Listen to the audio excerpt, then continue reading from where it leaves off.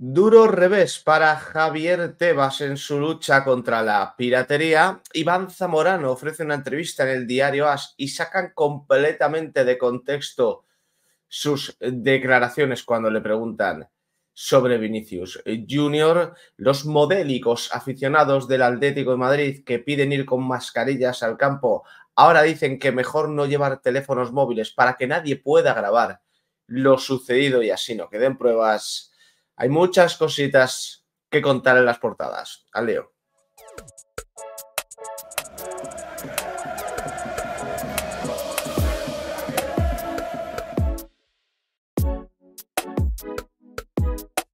¿Qué tal familia? ¿Cómo estáis? Viernes 27 de septiembre del año 2024. Ya está aquí un nuevo fin de semana. Lo que pasa es que este se nos, bueno, ya se nos va a hacer largo. A nadie se le hace largo un fin de semana. El Real Madrid no juega hasta el domingo. Domingo a las 9 de la noche. Derby en el Metropolitano, encerrona bestial en el Metropolitano, con la prensa, como yo ya intuía, siendo incapaz de denunciar lo que está sucediendo dentro de un sector de la afición del Atlético de Madrid que está promoviendo, pues eso, eh, está incitando a la violencia. Está incitando a la violencia con mensajes muy duros, muy preocupantes y que dan mucho miedo, ¿no? Y aquí vuelvo a dejar claro que es un sector de la afición. A mí no me gusta generalizar y en esto sería, aparte de grave, muy irresponsable por mi parte decir que toda la afición del Atlético de Madrid, no, no, hay un sector de la afición del Atlético de Madrid que está promoviendo el odio, que está incitando a la violencia y que primero pidieron ir con mascarillas al estadio para poder insultar alegremente a Vinicius y que no les puedan leer los labios y ahora están pidiendo ir sin teléfonos móviles o tener apagado tu teléfono móvil para no grabar. No grabes nada, no vaya a ser que te equivoques, lo subas a redes sociales y ahí ya tengan una prueba de lo que hemos hecho. Es como cuando alguien está preparando la escena de un crimen. De verdad. Es como, eso. Lo están preparando como si fuese un crimen. Vamos a intentar, eh, vamos a hacer esto, pero vamos a intentar no dejar pruebas. No dejar pruebas. Es decir, que si a mí me está grabando una cámara de la televisión, no me pueda leer los labios y no pueda ver que le estoy llamando lo que sea a Vinicius Junior. Y sobre todo que entre nosotros, compañeros, compadres, camaradas, ¿eh? amigos de celda, no podamos grabarnos. Por si acaso luego, yo que sé, nos quitan el móvil, ven el vídeo, se juega en redes sociales porque te has equivocado, tal, que no haya pruebas repito, la prensa no lo denuncia. No lo vais a ver en portadas. Yo ya os hago ahí el spoiler, no hacía falta. Creo que lleváis el suficiente tiempo conmigo como para saber qué cosas te van a colar en portada y qué no. Pero lo primero que quería, a lo primero que quería reaccionar es a esto que ya os pongo en pantalla. Tú te metes en la web del diario As y lo primero que te sale es que hay una entrevista a Iván Zamorano. Y el titular es Vinicius. A mí me decían todo, desde Sudaca a Gitano. Claro, yo cuando leo estas declaraciones, lo primero que pienso es, joder, qué cabrón Iván Zamorano ahí poniendo, poniendo un poquito de hielo al asunto y diciendo, ah, inicios deje poco menos que de llorar, que a mí me llaman sudaca y gitano, tal, no sé qué, vale. Tú te metes en la entrevista, yo siempre aquí digo, bueno, por cierto, buena porra, ¿eh? me gustaría que Madrid ganara 1-2, la verdad. Tú te metes en la entrevista, que yo aquí siempre digo, no os quedéis con el titular, no os quedéis con el titular, leed luego la noticia o la entrevista. Bueno, pues tú te vas a la entrevista y le preguntan por Vinicius. La entrevista en general no me interesa, pero sí que me interesa este.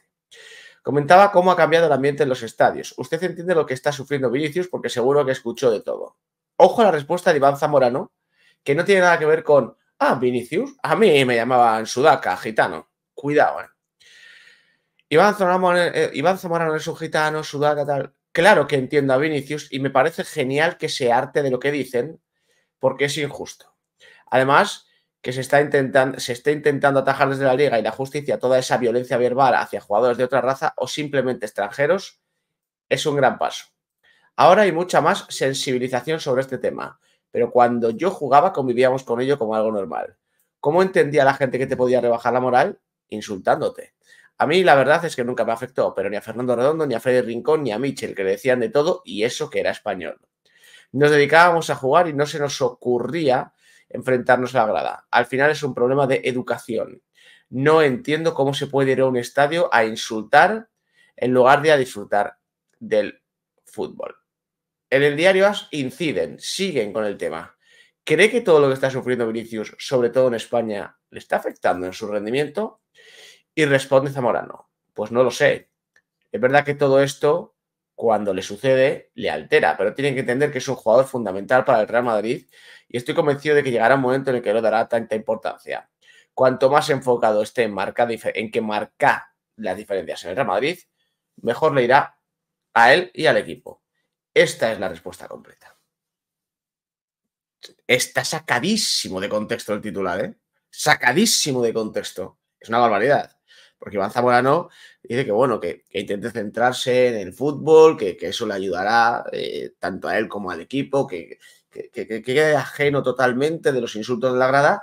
Pero es que a la vez que dice eso, el chileno está diciendo, no entiendo que la gente vaya a insultar a los estadios, hay un problema de educación, hay un problema de tal, eh, se está intentando atajar esta, esta violencia verbal, no sé qué tal. Esa es la respuesta completa.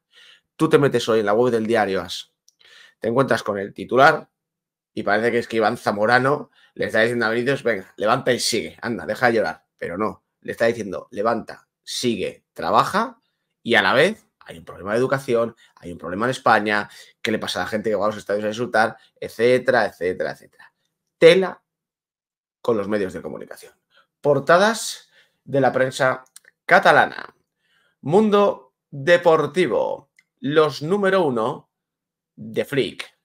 Y salen Iñaki Peña y Robert Lewandowski. El técnico mostró su fe ciega en el relevo de Ter Stegen. Tenemos plena confianza en Iñaki, dijo, y se deshizo aparte en elogios hacia el polaco. Lewandowski es el mejor 9 de la última década. En un faldón amarillo o, mostaza más o menos, pero con letras blancas, Chesney, única opción. Si no viene, el club irá al mercado invernal y la cláusula de Marc Bernal sube hasta 500 millones de euros. Abajo, Julián Álvarez decide en el minuto 90 en ese Celta 0 Atlético de Madrid 1 Español 1, Villarreal 2. El español se estrella en Ayoce Pérez. Y en baloncesto, las plantillas completas de la Liga ACB, lo que supongo que sea una especie de reportaje de mundo deportivo. Y ya arriba, la final de la Copa América de Vela arranca con tablas. Ineos y Luna Rosa se reparten victorias 1-1 en la jornada inicial en Barcelona. Y en el diario Sport apuesta Chesney. El Barça fichará al meta polaco que será presentado la próxima semana ha empezado la pretemporada en Marbella para llegar lo mejor posible. Podrá ser inscrito en la Champions y llega con la idea de ser titular. Abajo, Ayoce tumba al español y el árbitro fue agredido. El Real Madrid, harto de Vinicius, Ancelotti y el vestuario lo dan por perdido. Eso lo reaccionamos en el directo de ayer por la tarde, así que el que quiera analizar eso, pues que vaya al directito. En baloncesto, un Barça renovado busca el trono de la Liga ACB Copa América de Vela, Luna Rosa e Ineos, Britannia, abren fuego con un empate en la Copa América y ya arriba Champions Femenina, el Barça conocerá hoy a sus rivales.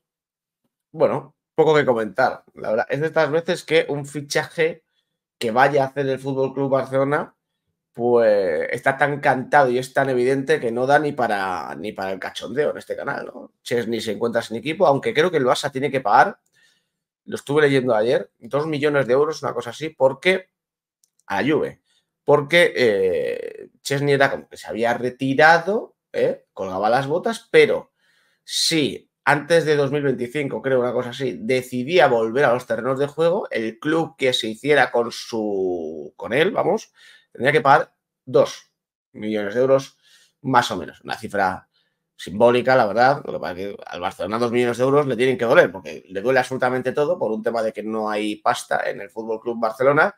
Pero bueno, yo de Chesney lo único que puedo decir es que los partidos que le viene el Arsenal, que fueron muchísimos partidos, eh, porque ya, sabéis, ¿no? ¿Cómo eres Gunner? ¿Qué? Yo no lo entiendo. Cosas, cosas de la vida, efectivamente. Bueno, pues a mí me parece un portero, portero de grandes tardes, recuerdo. O sea, bueno, hay una temporada que es trágica, ya no, sé, qué temporada es, pero es una temporada que se come todas. Pero es un portero de grandes tardes y también de grandes errores. Es un portero irregular, por eso no es un top mundial, obviamente. Pero bueno, que para lo que tiene el Fútbol Club Barcelona ahora mismo, pues es un parche que le puede, que le puede venir bien. También es cierto que cuando jugaban en el Arsenal eh, era ya hace tantos años que no sé si habrá bajado mucho el nivel o no, pero bueno, que se le, yo le recuerdo con, con, esa memoria quizá agradable, ¿no? Porque fueron además muchos partidos, no sé si fueron tres o cuatro o cinco temporadas en el Arsenal siendo importante en todas ellas. Bueno, ya veremos porque Flick ha dejado bastante claro que su portero es Iñaki Peña. No sé si lo seguirá siendo o si no, si lo de Chesney va a suponer un problema, pero está claro que el Barcelona en este sentido, mm, creo que no se equivoca yendo al mercado a por un portero, igual que no se equivocó el Madrid el año pasado yendo a por Kepa, por mucho que después acabase jugando Andrei Lunin. Portadas de la prensa madrileña. Diario As, gasolina para el derby. Un gol de Julián Álvarez en el 90 rescata al Atlético ante un Celta superior. El argentino inicia el partido en el banquillo. Oblak fue el mejor de los de Simeone con dos paradones a Aspas y Borja Iglesias. Abajo, pique a la vista en el Barcelona. El club transmite a Peña que sea titular, pero Chesney no piensa ponérselo fácil. En la Europa League, Roma 1, Athletic Club 1. Paredes salva al Athletic. Un gol del central en el minuto 85 frena a la Roma. En la Champions femenina, Real Madrid 3, Sporting 1. Toletti sella el pase del Madrid. El equipo estará entre los 16 mejores de Europa. Más abajo, en ciclismo, Paula Ostiz, subcampeona del mundo junior de fondo en carretera. Y ya arriba, entrevista a Iván Zamorano. El Real Madrid ganará 1-2. No sé cuánto costaría yo hoy. Ya no hay delanteros centro de mi estilo. Y añaden en el diario Asque un año de prisión y tres sin acceso a los estadios para el autor de los insultos racistas a Vinicius y Chukwueze. Además, en otros resultados de la jornada, Español 1, Villarreal 2 y Las Palmas 1, Eibar 1. Hoy se abre la octava jornada con un partido del que, todo vais, del que todos vais a estar pendientes porque me queréis, que es el Valladolid-Mallorca a las 9 de la noche en el Estadio José Zorrilla. Allí estaremos para ver ese encuentro. Y en el diario marca Julián lanzado al derby. El oportunismo de la araña resuelve en el minuto 90 otro partido gris del Atleti. Dos paradones de Oblak frenan a un buen Celta. Abajo, agresión desde la grada al colegiado Quintero González en el español Villarreal. Arriba, Courtois, un muro. El guardameta nunca ha perdido ante el Atlético de Madrid. Camavinga y Carvajal, listos para el derby. A la derecha, entrevista a Lola Gallardo. El día que el Atlético gane la Champions, podré morirme tranquila. En la propia Champions femenina, el Real Madrid a la fase de grupos tras ganar 3-1. En fútbol masculino, el Athletic Club se trae un punto de Roma. Ángel Hidalgo, ya en golf, sorprendente primer líder. Y entrevista a Javier Gómez Noya. Tenemos materia prima para volver a pelear con los mejores. Bueno, si el partido del Atlético de Madrid de ayer lo hace el Real Madrid, no te pone la prensa que fue un partido gris o un partido en el que el Celta fue superior. No te lo ponen.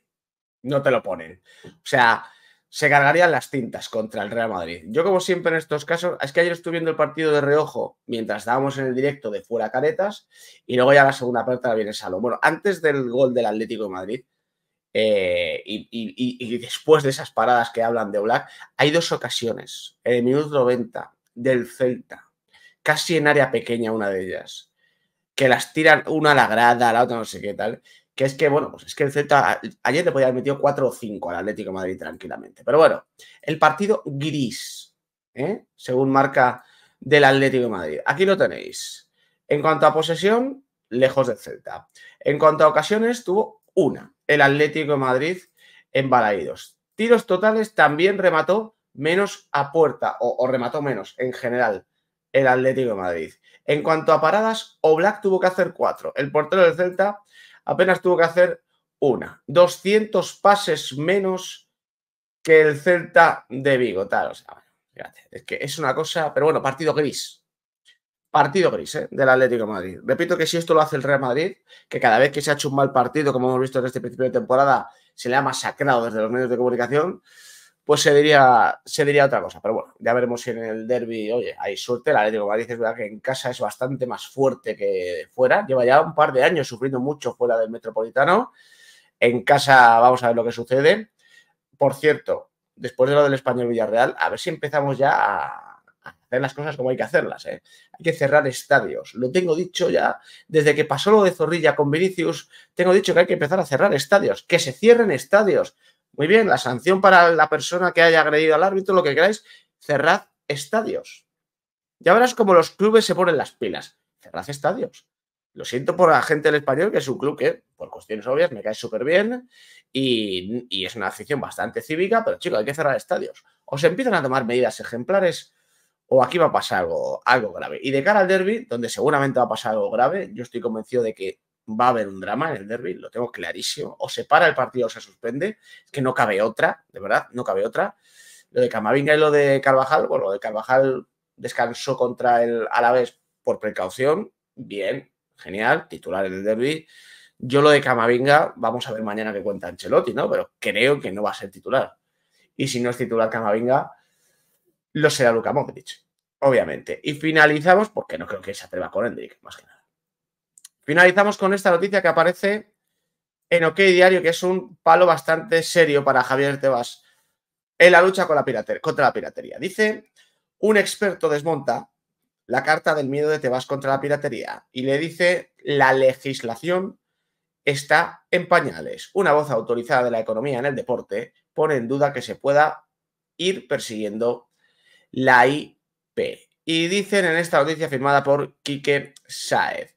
El asunto de la piratería nunca ha estado tan caliente como estos días. La llamada la ha encendido Javier Tebas, que está empeñado en adoptar medidas jurídicas con todo aquel que consuma su producto sin pagar, es decir, recurriendo a páginas web que roban el contenido y lo emiten de forma gratuita por Internet. Hace unos meses, cuando el eh, presidente del campeonato español alzó la voz acerca de este entuerto, la amenaza para muchas personas fue real, pues aseguraba que pensaba perseguir la IP de todo aquel usuario de estas prácticas para ver el fútbol en España. Sin embargo, la legislación en este sentido está en pañales esta afirmación la entona Plácido Rodríguez, profesor emérito honorífico del Departamento de Economía de la Universidad de Oviedo y presidente del Sporting de Gijón durante tres años, que además conserva el porcentaje más alto de victorias en primera división, bla, bla, bla, bla, bla.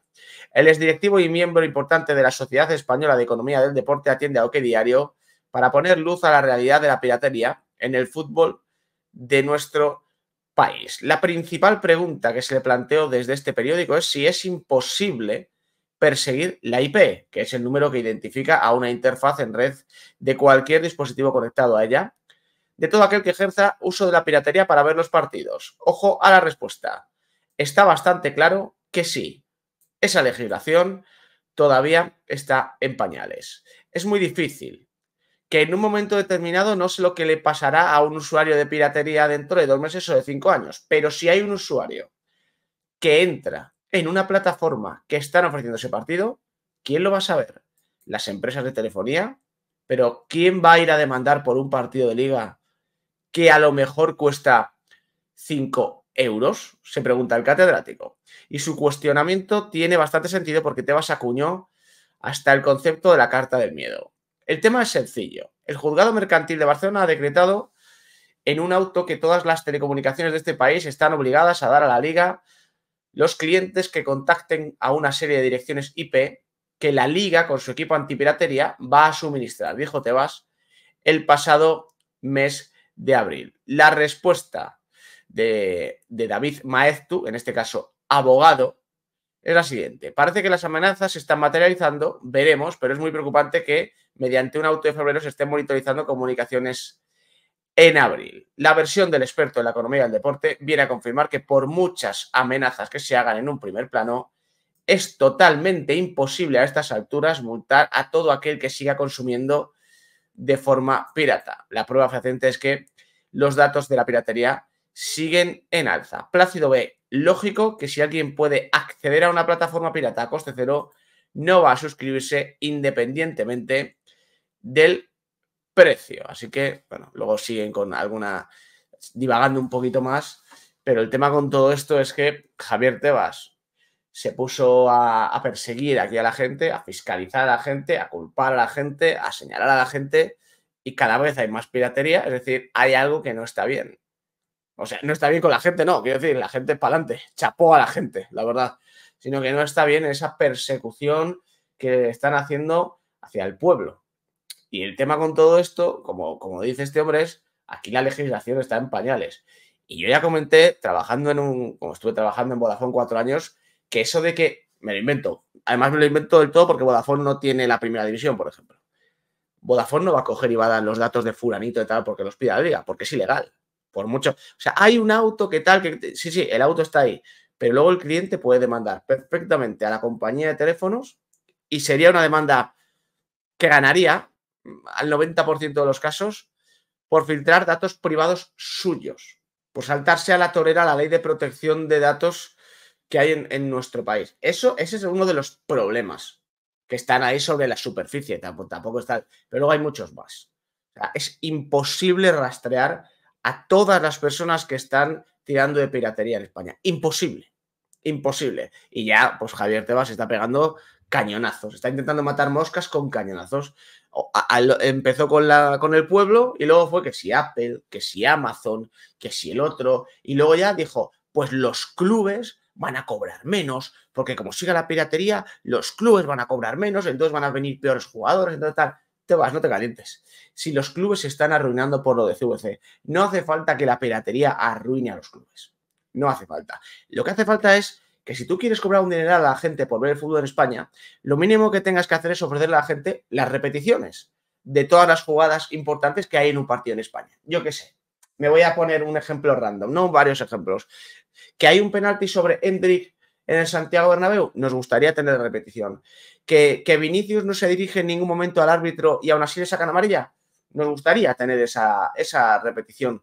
Que hay un penalti sobre Mbappé contra el Alavés por un agarrón dentro del área, nos gustaría tener esa repetición. Porque claro, 100 euros al mes, ciento y pico euros al mes, por no tener ni siquiera repeticiones, hombre, es un poco carete, ¿eh? Javier Tebas, pero es un tema de realizadores, ¿verdad? Dirán, no, es que la culpa la tiene. ¿Y a, quién paga? ¿Quién le paga al realizador de, los, de la liga? ¿Quién está trincando aquí con todo esto? Bueno, pues cuando ofrezcáis un mejor producto, también podréis tener ciertas exigencias.